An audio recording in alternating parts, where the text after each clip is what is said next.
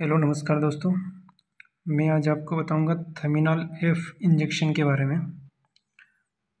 थमिनाल F जो कि Alembic company का आता है, जिसमें ड्रग है बुपरवकोन, साथ में फ्यूरेसेमाइड, जो कि थेल्यूरियोसिस बीमारी पर काम करता है। इंडिकेशन की बात करें थेल्यूरोसिस विद एडिमा पर इफ़ेक्टिव है। और इसमें जानवर को जो फीवर है टेम्परेचर उसका जानवर का काफ़ी हाई रहता है। 104 से 107 डिग्री तक रहता है। और कॉर्नेल ओपेसिटी साथ में अपन देखें तो जैसे आँखें हैं, वो बाहर निकलने लगती है।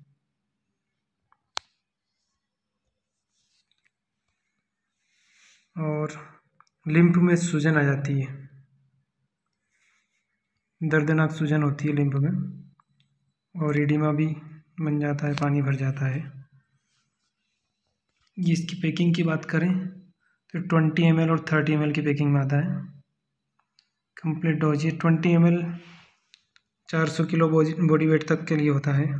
डोसेज की बात करें तो वन एम प्रति बीस के जी के हिसाब से इसका डोज होता है। वन एम पर ट्वेंटी के जी बॉडी वेट के हिसाब से, या फिर ढाई एम जी पर के जी बॉडी वेट के हिसाब से। रिपीट अगर करना है इसको रिपीट करने की ज़रूरत पड़ रही है। अड़तालीस से बहत्तर घंटे के बाद ही रिपीट करना है। और इसके रूट की बात करें तो ओनली आई एम रूट से देना है इंट्रामस्कुलर इंजेक्शन है थमिनाल एफ़ एलम्बिक कंपनी का था ये। थमिनाल एफ़